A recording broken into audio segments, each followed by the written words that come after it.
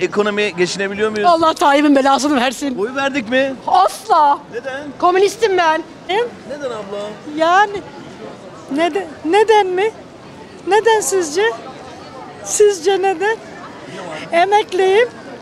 Çalışıyorum, işten geliyorum. Şu anda e, ikramiye vereceğim dedi Cumhurbaşkanımız. Çalışana vermiyorum dedi. Şimdi duydum çiftçilere de vermiyormuş. Çiftçilere niye vermiyor emekli ben onu anlamadım. Hadi biz çalışıyoruz ama kaç yıl emek vermişiz, emekli olmuşuz ayrım yapıyor. Adalet mi peki? Sizce adalet mi? Sizce adalet mi? Eğer sizce adaletse bir şey demiyorum ben. Peki nasıl düzelecek abla bu cennet vatan? Vallahi bu, bu, bu gidişle hiç düzelmez. Bu gidişle hiç düzelmez. Y- Sıkıntılar hak ediyor mu abla bu coğrafya? Hak ediyor. Hak ediyor. Çünkü niye hak ediyor? Ben dahil hak ediyorum. Gittim oyumu verdim. Hak ediyorum. Şu an Peki çoluk emekli çocuğun geleceği ne olacak abla peki bu şartlar altında? çoluk çocuk gelecek diye bir şey yok zaten. Kalmadı bana göre. Yanlış düşünüyor olabilirim ama kalmadı. Nasıl abla geçmiş dönemde Geçmiş dönemde ben 90'da geldim İstanbul'a. Tek eşim çalışıyordu askeri ücretle. Ben burada kendimi doyuruyordum. Bir de aileme para gönderiyordum. Şimdi eşim emekli, ben emekliyim, çalışıyorum. Krediler, 10 tane kredim var bankaya, bankalara. Bu kadar söyleyeceğim. Peki nasıl İnşallah yayınlarsınız. söz yayınlayacağım abla? Bu dönemden mi aldınız evinizi yoksa yeni mi aldınız? 94'te aldım evimi. Ne diyorum şimdi size 10 tane kredim var ödeyemiyorum. 10 tane kredim var hiçbir şeyim yok. 94'te benim arabam vardı şimdi arabam da yok. Neden abla faize bulaştık peki? Mecburen, mecburen ne yapacaksın? Oradan alıyorsun oradan kapatıyorsun. Oradan alıyorsun oradan kapatıyorsun. Peki abla belediye başkanı seçimlerinde destekleyeceğim bu hükümete. Hayatta ben vermiyorum destekleyenleri de e, teşvik etmiyorum. Geçmiş dönemde emekli ikramiyesini alanlar daire alıyordu değil mi? Evet alıyordu. Diyorum ya işte 94'te aldık diyorum ben size. Gençler alabilecek mi abla şu Bu anda? gençlerin zaten geleceği bitmiş. Biz hadi artık yaşı yarıladık. Ben kendimden diyorum benim yaşım yarı ama geleceklere üzülüyorum ben. Nasıl bir Türkiye bırakacağız gençlerimize abla Gençler peki? bunların işi zor çocukların. Allah yardımcıları olsun. Başka bir şey yok. Vatandaş ay sonu getirebiliyor mu, geçinebiliyor mu? Kayıtta mısın? Ben 60 60 66 yaşındayım. Ben 50 senedir bir kitap okuyorum. Evet, roman. Devenin dikene olan aşkı. Onu yayınlarsanız. Yayınlarız abi. Peki nasıl düzelecek bu cennet vatan? He. Valla önce bir eğitimin şeyine baksınlar, düzeyine. Dünyanın en güzel ülkesi. Benim seçtiğim adam mecliste en güzel hayatı yaşıyor. 5 sene sonra emekli oluyor. Ben, ben- ben bu adama oy, oy verip benim sahibim olarak mı değerlendireceğim? Önce bir onu düşünsün bu toplum ya. Senin memurun mu abi normalde o? Memurum, Hizmetkarın mı? Memurum tabii. Neyim? 5 sene sonra dünya her tarafa gidiyor. 5 sene sonra 7 sülalesi emekli oluyor. Adalet mi bu peki? Tabii tabii. Bu halk için e, benimsenmiş en güzel sistem. Seviyorlar bizimkiler ya. Kabulleniyorlar mı abi peki %50 ise? Valla e, canlı hayvan ithalatına başlayacağım o zaman haber veririm size. Geçinebiliyor muyuz? Gidişat ne durumda? Emekli geçinebiliyor mu? Yerlerde sürünüyor. Neyini geçinecek ya? Süründüren kim abi peki? Süründüren valla ülkeyi soyup soya- soğana çevirenler. Başka ne diyeyim? Peki nasıl düzelecek bu cennet vatan?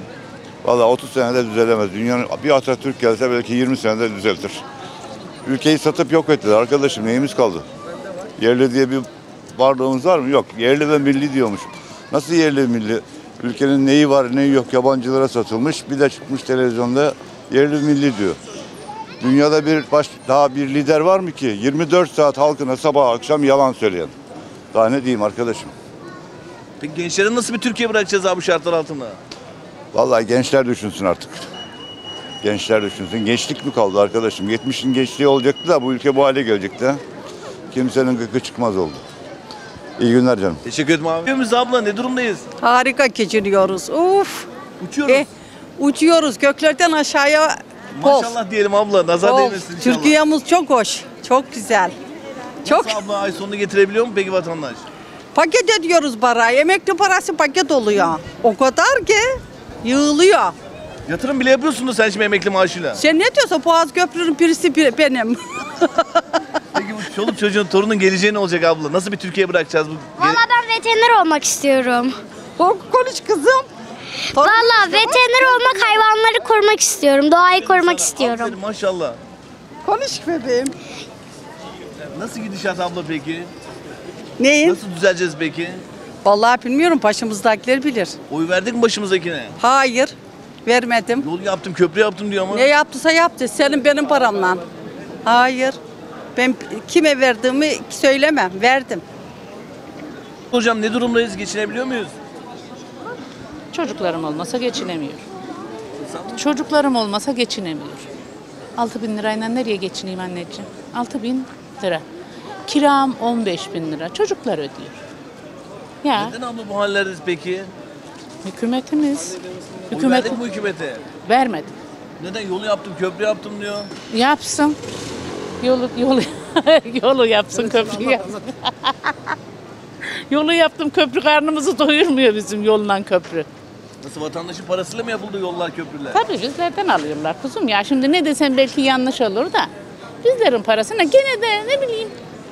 Şu yokluğun adını şükür koymuşlar ya. Gene de şükredip oturuyoruz. Değil mi? Onlar karnları tok. Bizimkiler aç. Bize diyorlar ki şükür edin. Şükredin. O zaman siz, siz aç kalın siz şükür edin.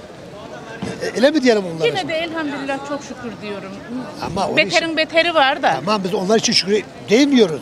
Ben diyorum ki onlar karnları çok çok tok. Bize çok çok acız. Bize diyorlar ki şükür edin. Şükür. Ama siz de biraz şükür edin. Ah İşte hani 5 bin lira yatacak diyorlar diye emeklilere. Ben emekliyim. 3 bin, 3750 lira yatmış. Hani 5 hepsi aynıydı. Herkese beşer bin, ikişer bin lira bayram parası diyorlar. 2 bin lira bayram parası yatmadı bana hiç bu zamana kadar. 1500 lira, 1400 lira. Kemal Kılıçdaroğlu 15 milyar veriyordu. Kimse ona para vermedi. Şey, oy vermedi. Neyse, He. neyse bilmiyorum. Sence Allah nasıl abi? Teşekkür ederim sonumuzu abla. hayretsin. Neyi? Ne, ne durumda abi vatandaşın geçimi, ekonomi Ya ne va- durumda? vatandaş bitmiş bitmiş. Vatandaşlık mı kalmış artık? Yaşamak mı kalmış artık? Hepsi yalan dolan hepsi ya. Hepsi ülkeyi kandırıyorlar hepsi ya. Ama bir tane sakallı orada konuşur. Ha, hep olayı savunuyor. Sakallı var ya. Onu, gö- onu yakalıyorum şeyde bazen. YouTube'da yakalıyorum, görüyorum onu. Nasıl bir adam olduğunu biliyorum onu. Yani Yanlışı nasıl savunabiliyor peki abi? e, kendisi yanlış. Yanlış ki yanlışı savunuyor. Ya şimdi bak biz kimseden bir şey istemiyoruz. İnsanlar birbirine karşı samimi olsunlar. Dürüst olsunlar. Yani bir şey yaparken samimi samimi konuşsunlar yani. İnsanlar birbirini kandırmayı ne anlamıyor? Bir de Allah peygamber diyorlar. Yok biz Müslümandır, şudur, bu şey diyorlar, konuşuyorlar. Yani hep insanları kandırıyorlar. Müslüman yalan söyler mi abi peki? Vallahi ya ben ben şey e, şimdi ben böyle Müslüman değilim ben. Eğer onlar böyle Müslümansa ben böyle Müslüman değilim. Ben namazımı da kılıyorum. Allah'a da şükrediyorum. Allah'ım da var, peygamberim de var. Ama ben bir insanı Allah yolunda kandıramam. Yani Allah yolunda kandıramam ben yani şimdi. Münafık olmuyor mu abi o zaman Allah adıyla kandırdığı Münafıkın zaman? en kralı oluyorlar. Nasıl oluyorlar? Şeytan oluyor. Şeytandan daha beter oluyorlar. Şeytan diyor ben şeytanım yapıyor olayı. En azından biliyoruz ne olduğunu kendimiz ha. söylüyoruz. Ama bu adam Kur'an'ı eline bırakıyor, burada gelip burada şeytanlık yapıyor. E bunu Allah zaten görüyor ama işte Allah onda çarpacak ama işte çarpmıyor o anda. O anda çarpması gerekir. Ya, ben sizi çok seviyorum. Teşekkür ederim Sizi çok abi. takip ediyorum. Var Çok abi? demokrat bir adamsınız. Öyleyiz abi. Sor ne soracağım? Ekonomiyi soruyorum. Ne durumda geçinebiliyor muyuz? Nasıl torunu çıkarttık her istediğini alabiliyor muyuz? Mümkün mü yavrum? Emekliyim ben. Üstelik yani kendi emekliliğim de değil, dul yetim emekliliği. Bak farkları verdiler. Onu da 5 bin vermiyorlar. Şeyi kadar, e, oranı kadar veriyorlar. Neyle nasıl geçineceksin? Ha yavrum, ekonomi battı. Nasıl düzelecek? Gençlerimize nasıl güzel bir Türkiye bırakacağız? Nasıl düzelecek ya? Düzelecek durumda mı? Ar gençler yandı. Yandınız. Gene bize öyle gittik apar topar. Siz yandınız yavrum. Allah kolaylık versin. Teşekkür soruyorum abi. Ne durumdayız? Geçinebiliyor muyuz? Ya nasıl geçinir? Ben zaten Fransa'dan geldim. 20 günde 5000 avro gitti. Uf 20 günde bir de. 20 günde. Buradaki ne yapsın abi? 7500 lira maaş alıp oradakine Allah yardım etsin. Ne diyeyim yani? Eder mi abi Allah? ne, ne diyeyim? Ne diyeyim yani? Çok zor yani. Nasıl Fransa'da size Allah mı yardım ediyor, hükümet mi yardım ediyor? Hükümet yardım ediyor bize. Şüphesiz. Emekliyim. Gezmeye geldim. Bur- Buradaki emekli akşama kadar çalışıyor abi. De öyleymiş duyuyorum yani. Duyuyorum görüyorum. Zor. Zor yani. Peki neden bu hallerde cennet vatan? Şimdi, şimdi, şimdi ne diyeyim? Çalışsa da emekli ikinci kez çalışsa da doyamıyor. Yani ekonomi çalışıyor. O ikinci kez. yerlerde. Teşekkür